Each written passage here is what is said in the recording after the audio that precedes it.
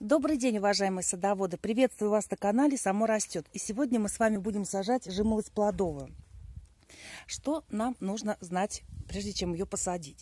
Ну, первое, это то, что жимолость – это очень строгий перекрестник, поэтому одновременно высаживают рядышком не менее 5 разных сортов – Можете сажать хоть один, если у вас сетчатый забор, и за этим забором у соседа тоже растет жимолость. Вот тогда опыление будет нормальное, будет ягода, э, кусты давать хороший урожай и хорошую ягоду. Ходят легенды о том, что можно сажать три, но это в основном только легенды. Так, значит, что она любит? Она любит солнышко, но не любит ветра.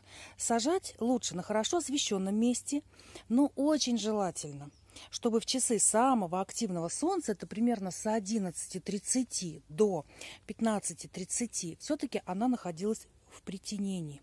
Такую посадку очень легко организовать около южного забора. Я буду сажать у восточного забора, то есть она не будет находиться э, весь день на солнце. Э, с утра она будет все-таки находиться в притенении, ну а после обеда солнце уже не такое активное.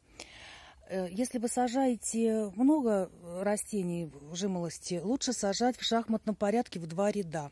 Расстояние между кустами от метр двадцать до метр пятьдесят – это минимум, можно и два. Э, между рядами до двух метров. Вот если бы сажать, то вот на расстоянии двух метров. Вот. Э, что я приготовила для посадки? Ну, вот, купила саженец жимолости новый, да, новиночка у меня. Выкопала ямки Значит, глубина где-то 40-50 сантиметров, диаметр тоже 50 сантиметров. Э, приготовила обычный нейтральный торф. Не кислый, не вот, вот без всяких заморочек, просто нейтральный торф. Мы будем его смешивать с своей родной землей. И нужно сделать хорошую заправку органикой. Вот. Это у меня хорошо перепревший навоз из-под знакомой коровы. Ему 6 лет он не нанесет вреда растению, но это будет очень хороший, кажется, старт по жизни ей. Можно использовать и лучше использовать биогумус. Это продукт переработки навоза калифорнийским червем. Значит, э, на одну лунку 5 литров. Не 5 килограмм, 5 литров. В литрах будем мерить. И э, вот я выкопала ямку и уже туда примерно 20 литров насыпала своей родной земли. Она же будет потом корнями-то пойдет вот в свою родную землю, поэтому поменять структуру почвы вот лунки можно, но не надо сильно. Значит, сколько торфа? Ну, примерно 15-20 литров на одну лунку у нас уйдет. И примерно 10-15 литров вот в данном случае у меня уйдет компоста. Итак, приступим непосредственно к посадке. Видите, какая у меня ямка? Сейчас мы будем э, подмешивать туда вот те компоненты, которые приготовили. Сразу их не добавляем, а, скажем так, в два этапа. Почему? Потому что нам их нужно очень хорошо перемешать. Как я уже сказала, родная земля там насыпана. Она просто необходима. Вот добавили торф. И мой вот этот вот перепревший навоз. Так вот перемешиваем. Можно это сделать лопатой. Я люблю все делать руками. Потому что, ну, земля, она тоже же как бы живая. Кому хочется, чтобы его лопатой трогали? Мы так вот перемешиваем. Ямочка у меня хорошая, такая глубокенькая. Ну, как глубокая. 40-50 сантиметров. Больше не надо. Я чувствую, что все уйдет. Весь торф, все 20 литров. И вот так вот. И постепенно начинаем подмешивать то, что мы приготовили. Параллельно с бачков мы добавляем свою земельку, которую выкопали. Это будет очень-очень хорошо. Грунт у нас должен получиться очень равномерный. Это быстро, это совершенно несложно. Вообще посадить жимолость занятие очень простое. Не надо вот что-то придумывать и искать какие-то изобретать сложности. Все очень-очень просто. Вот так сейчас перемешаем и приступим к посадке. Земельку я подготовила. Видите, вровень. Вот пока у нас нету лунки, а ямку вот заполнила, подготовила, немножко утрамбовала. И приступаем непосредственно к посадке. Вот смотрите, саженец, да? Это я его купила. Я даже не знаю, что там внутри. Прежде чем копать лунку, надо посмотреть, а что же там у нас внутри. Вот его.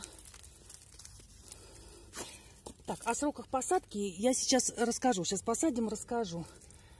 Ну, так, ничего, нормальный саженец. Вот разминать в закрытом корне вот эти корешки, если саженец или нет. Это, знаете, на ваше усмотрение. Но немножко, если вот закрутились, можно вот так расправить. Глубина посадки у нас будет, ну, в данном случае она будет вот, вот так вот, 2,5 сантиметра где-то. Итак, у нас уже здесь все подготовлено. Выкапываем ямочку. Вот так вот. Выкапываем. Ой, по поводу удобрений. Вот я уже слышу с той стороны экрана да, вопрос. А, я не добавляю. Нету в этом смысла никакого. Но бывает физиологическая какая-то или моральная потребность садовода что-то добавить. При осенней посадке можете добавить 50 грамм а, калия сернокислого, 50 грамм суперфосфата. Ну, хотите, добавляйте, но ничего вам это не даст. А, если при весенней посадке, так как жимолость медленно растет, и вы хотите увидеть результат побыстрее, и все вы сейчас очень любите осмокоты пользоваться, добавьте осмокот 2-3 месяца, но не 5-6, ни в коем случае. Она хорошо пойдет в этом случае в рост, но и без этого можно будет полить просто водорастворимым удобрением. Вот, значит, здесь делаем такой маленький, ну, типа треугольничка, на который мы посадим. Значит, копая лунку, мы все время примеряемся, да, чтобы было небольшое заглубление. Вот, все. Ну, вот, разодрать корень. А не надо, а он и так хорошо пойдет. Вот я их вот расправила, да, закрутившиеся. И вот мы сейчас вот на этот треугольничек посадим, эти корешочки опустятся вниз, и ей будет очень хорошо. Э, э, разгр... Вот как бы разрывать вот эту кольцеватость я не буду. Они, они найдут себе дорогу к жизни. Вот. Без этого будет нормально. Вот засыпаем, вот так вот утрамбовываем. Вот так вот. Так. Чтобы не было воздушных стаканов. Ногами топтать я бы не стала. Мне кажется, им это не понравится. Вообще, кому понравится, если около него топчет ногами? Он же тоже боится. Как ему тут? Он будет расти на этом месте от 50 до, до 70 лет. Поэтому место для посадки жимолости лучше выбрать тщательно, чтобы не было потом пересадок. Это не голубика, которая, да, ее и пересаживать можно, и взрослую, и какую угодно. Это будет все-таки растение страдать. Вот. Значит, теперь нужно будет очень хорошо пролить. И вообще про поливы не забываем. Очень важный момент. Вот э, про удобрение я сказала, все заморачиваются с удобрением, но не делают самого главного. Как бы вы ни посадили, все-таки самое главное запомнить сорт. Вот он у меня здесь подписан. Я сделаю бирку. Как делается бирки, я вот попробую подсказочку вам. Значит, будет у вас сейчас на экране. Вот. И э, обязательно. Почему? Ну вот, допустим, мало ли что, да, заболела ли, не плодоносит, дает не те плоды, не те, которые ожидались. Вы найдете специалиста, который может помочь вам разобраться в этой проблеме. Послушайте меня, вот что, да, что спрашивают в первую очередь? Какой сорт и где покупали? Какой сорт, это надо знать обязательно. Поэтому не забываем. Я сделаю вот из этого же прям стаканчика бирочку. И рядом здесь, и вот на заборчике там тоже подпишу, чтобы не потерять, чтобы знать, какой это сорт. Вот, все. Значит, жимолость э, растет медленно. Первые 2-3 года будет в основном расти корневая система. Но вот при такой посадке с торфом и с биогумусом, или вот с, это, с органикой, с хорошей, у вас будет, будет расти хорошо и надземная часть. Это уже проверено. Про подкормки будет отдельная программа, про болезни, про вредителей, про все то, что с чем вы можете столкнуться, будет в отдельных программах. Теперь по срокам посадки. Если ваша жимолость с открытым корнем, сажайте ее поздно осенью или рано-рано весной. Еще вот как только вот только можно выкопать ямку. Она быстро трогается в рост, поэтому надо успеть. С закрытым корнем. А когда хотите. Главное, поливайте. Вот, она нормально переносит пересадки. Ну, в самый солнцепек, понятно, ничего сажать без притенения нежелательно.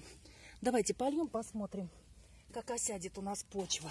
И вообще, вот один из секретов выращивания жимолости, не забывайте поливать. Она отплодоносила, да, и все, и бросили ее. А еще, знаете, как отплодоносила, и тут уже листья начали становиться такие страшные.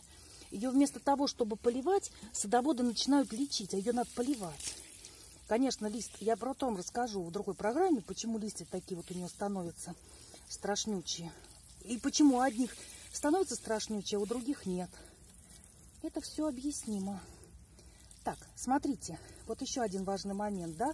Вот у меня вокруг образовалась маленькие такие горочки своей родной земли. Я их сейчас выровняю, вот, чтобы они не, так не оставались и не затекало потом это все, не заглублял наш саженец. Не надо лишнего заглублять. Так, еще какой важный момент. А, мульчирование очень хорошо было бы замульчировать. Чем замульчировать? Я здесь везде расстелю черный укрывной материал спанбонд плотностью 120 грамм на метр, чтобы не росли сорняки и чтобы сохранялась влага. Сделаю разрез для того, чтобы вносить удобрения. И все. И будет моя жимолость очень хорошо расти. Я вот вам покажу сейчас, как у меня за сколько за два или за три года вот саженцы меньше вот этого, в каких вот красавчиков выросли. Сейчас посмотрим. Вот смотрите. Да, три года назад весной я их посадила. Такие малюхохонькие были. Вот смотрите, какие хорошенькие, красивенькие. Уже ягоды много дают. Что было сделано? такого вот, э, чего я не делала раньше, и мне казалось, что жимолость не растет, и не растет, и не растет. Вот именно посадка с торфом и с хорошей заправкой органики дала вот такой вот хороший результат. Плюс обрезка. Обрезку я вас научу. Это не сейчас. Сейчас нужно просто правильно ее посадить. Вот они. Значит, на посадку одного саженца я посчитала с выкопкой ямы уходит не больше 15 минут. Вот. А расти она будет до 70 лет. Вот. Этот сорт, это Восторг посадила. Он, видно, это взрослый саженец, три года, но, видно, Восторг не особо большой, как вот эти вот. Так что не ищите проблемы там, где их нет. Ничего не придумывайте, все просто. Не мешайте растению расти и все у вас получится. Если вам мои программы полезны, ставьте лайк, подписывайтесь на канал. Если есть вопросы, пишите, ответим на любые. На сегодня все. До свидания.